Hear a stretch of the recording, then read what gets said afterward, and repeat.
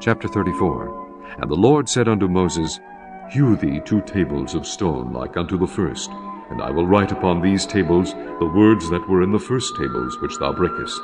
And be ready in the morning, and come up in the morning unto Mount Sinai, and present thyself there to me in the top of the mount.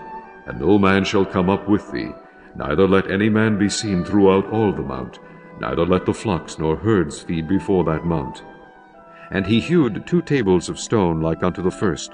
And Moses rose up early in the morning, and went out unto Mount Sinai, as the Lord had commanded him, and took in his hand the two tables of stone. And the Lord descended in the cloud, and stood with him there, and proclaimed the name of the Lord. And the Lord passed by before him, and proclaimed, The Lord, the Lord God, merciful and gracious, long-suffering, and abundant in goodness and truth, keeping mercy for thousands, forgiving iniquity and transgression and sin, and that will by no means clear the guilty, visiting the iniquity of the fathers upon the children, and upon the children's children, unto the third and to the fourth generation.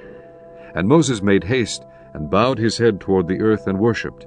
And he said, If now I have found grace in thy sight, O Lord, let my Lord, I pray thee, go among us, for it is a stiff-necked people, and pardon our iniquity and our sin, and take us for thine inheritance.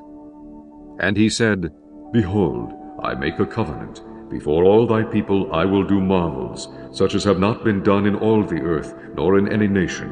And all the people among which thou art shall see the work of the Lord, for it is a terrible thing that I will do with thee.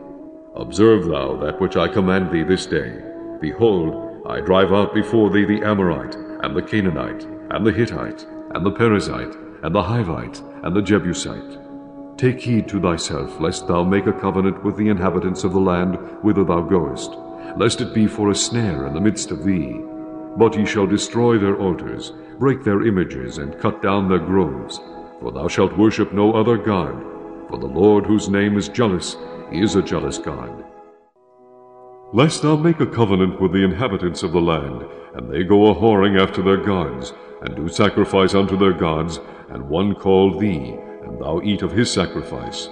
And thou take of their daughters unto thy sons, and their daughters go a whoring after their gods, and make thy sons go a whoring after their gods.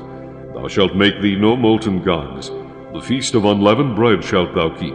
Seven days thou shalt eat unleavened bread, as I commanded thee, in the time of the month Abib. For in the month Abib thou camest out from Egypt. All that openeth the matrix is mine, and every firstling among thy cattle, whether ox or sheep, that is male. But the firstling of an ass thou shalt redeem with a lamb, and if thou redeem him not, then shalt thou break his neck.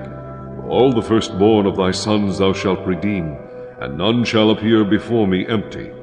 Six days thou shalt work, but on the seventh day thou shalt rest. In earing time and in harvest thou shalt rest. And thou shalt observe the feast of weeks, of the first fruits of wheat harvest, and the feast of ingathering at the year's end. Thrice in the year shall all your men children appear before the Lord God, the God of Israel. For I will cast out the nations before thee, and enlarge thy borders. Neither shall any man desire thy land, when thou shalt go up to appear before the Lord thy God thrice in the year. Thou shalt not offer the blood of my sacrifice with leaven, neither shall the sacrifice of the feast of the Passover be left unto the morning. The first of the first fruits of thy land thou shalt bring unto the house of the Lord thy God. Thou shalt not see the kid in his mother's milk. And the Lord said unto Moses, Write thou these words, for after the tenor of these words I have made a covenant with thee, and with Israel. And he was there with the Lord forty days and forty nights.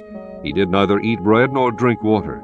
And he wrote upon the tables the words of the covenant, the Ten Commandments.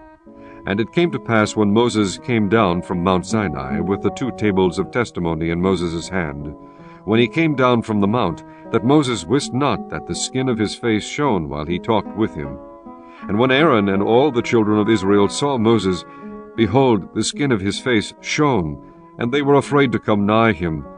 Moses called unto them, and Aaron and all the rulers of the congregation returned unto him, and Moses talked with them. And afterward all the children of Israel came nigh, and he gave them in commandment all that the Lord had spoken with him in Mount Sinai. Until Moses had done speaking with them, he put a veil on his face. But when Moses went in before the Lord to speak with him, he took the veil off until he came out. And he came out and spake unto the children of Israel that which he was commanded. And the children of Israel saw the face of Moses, that the skin of Moses' face shone. And Moses put the veil upon his face again, until he went in to speak with him.